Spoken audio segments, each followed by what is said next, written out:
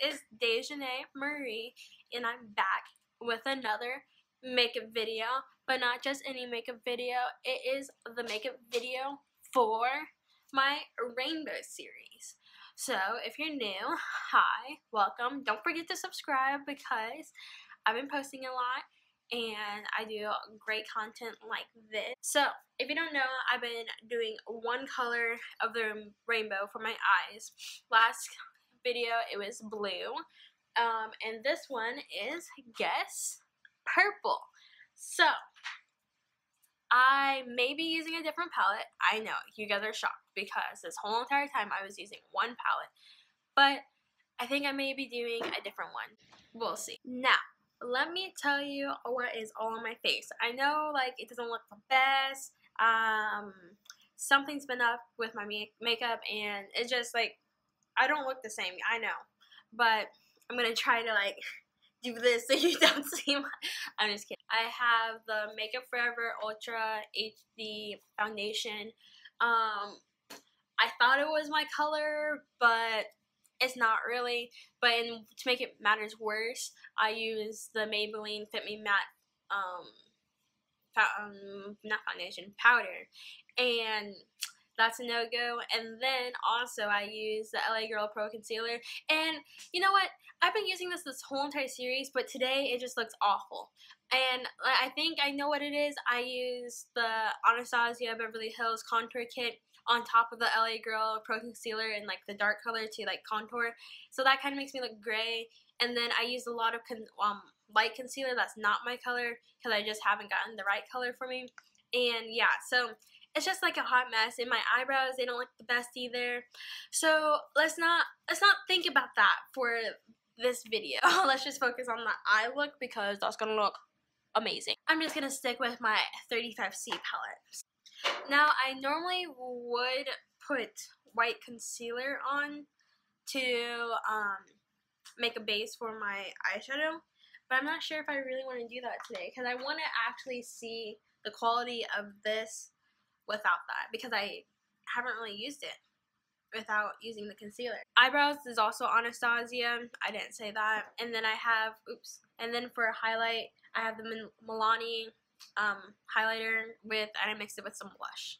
I'm going to be taking this purple right here. Oh, wow.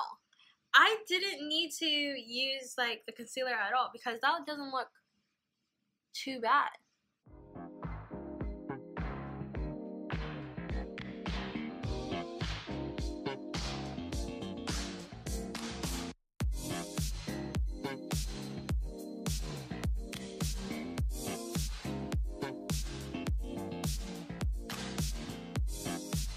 Now I'm going to be using the Stila glitter stuff um, in the color Violet Vixen. And I'm going to be making a wing with this. Hopefully it doesn't look too bad. Because I suck at doing wings.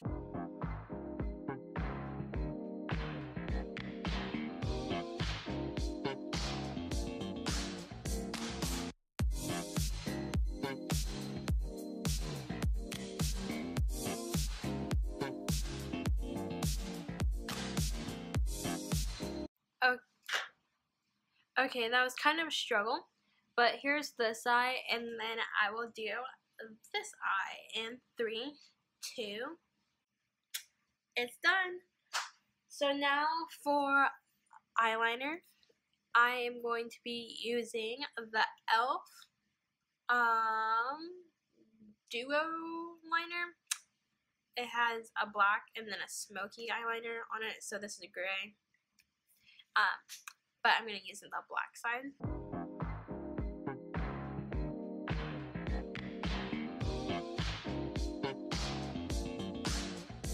So for lashes, I'm going to be using the Mega Volume by Ardell 251.